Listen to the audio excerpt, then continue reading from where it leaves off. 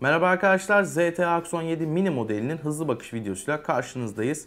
Daha önce incelediğimiz Axon 7 modelinin karakteristik tüm özelliklerini taşıyan Axon 7 mini 5.2 inçlik bir ekran ile geliyor. E, Snapdragon 820 yerine Snapdragon 617 işlemcisinden gücünü alan cihaz grafik işlemci olarak Adreno 405 kullanmakta. 3 GB'lık RAM'imiz, 32 GB'lık dahili hafızamız mevcut. Kamera kısmında ana kamerada 16 megapiksellik f1.9 diyafram açıklığına sahip başarılı bir kamera kullanan cihaz. Ön kısımda ise f2.2 diyafram açıklığına sahip 8 megapiksellik kamera kullanmakta. Aynı zamanda yine Axon 7 modelinde gördüğümüz gibi arka kısmında parmak izi sensörüne de sahip. Özellikle Axon 7 modelinde olduğu gibi ses konusunda çok iddialı olan cihaz yine Dolby Atmos ses teknolojisini kullanıyor. Ön taraftaki çift hoparlör size ses performansı açısından inanılmaz başarılı bir e, sonuç çıkartıyor.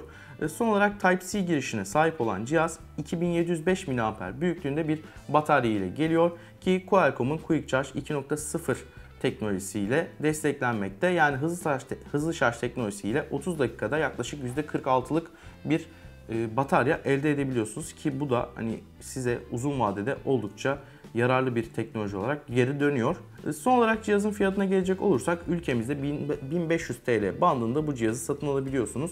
Orta segmentin hem şık hem de başarılı alternatiflerinden biri olduğunu söyleyebiliriz arkadaşlar. Başka bir videomuzda görüşmek üzere. Hoşçakalın.